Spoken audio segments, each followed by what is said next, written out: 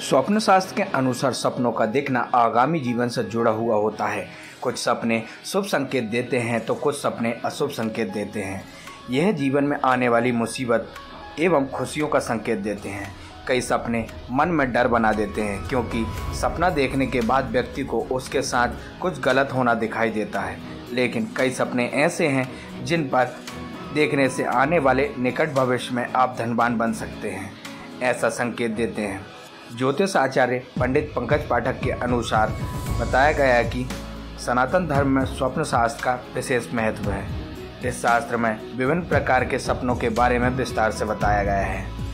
सपनों के अनुसार अच्छा या बुरा संकेत हमें मिलता है। ऐसे में कई सपने किसी भी माध्यम से आपकी आमदनी बढ़ सकती है, इसके संकेत देते हैं। तो आइए जानते हैं वह कौन से सपने हैं जिन्हें देखने से हमारे लिए शुभ होता है। देखिए, स्वप्न शास्त्र के अनुसार जो कुछ भी हम स्वप्न में देखते हैं, उनमें से कुछ वस्तुओं का हमारे जीवन से या आने वाले भविष्य से, आने वाले समय से उनका संबंध रहता है। यह एक इंडिकेशन है, या एक दिशा निर्देश है, या यह एक संकेत है, जिसको देख करके हम आगामी भविष्य से संबंधित कुछ विचार सामने रख सकते हैं। कुछ स्वप्न ऐसे होते हैं जिनके संकेत या फल अशुभ होते हैं। कुछ स्वप्न ऐसे होते हैं जिनके संकेत जो हैं शुभ भी होते हैं।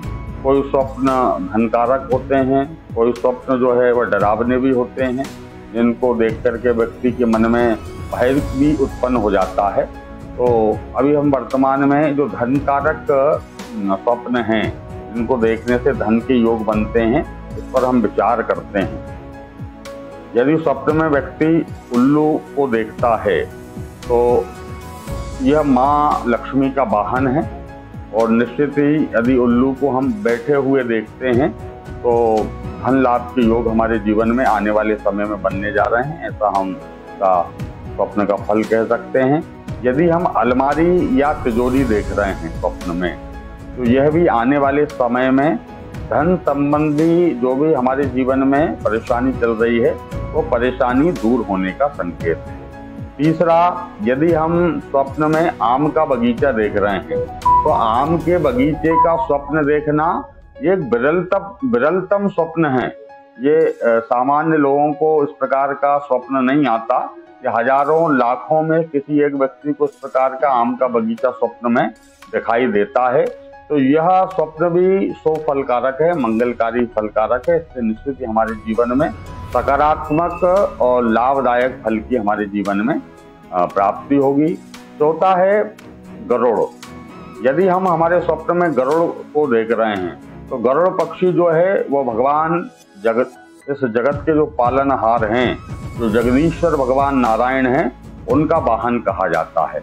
यदि हमने हमारे स्वप्न में गरुड़ को देखा है तो यह भी आने वाले समय में धन के साथ ही साथ मान सम्मान और प्रतिष्ठा की प्राप्ति होगी, ऐसा इस स्वप्न का फल कहा गया है।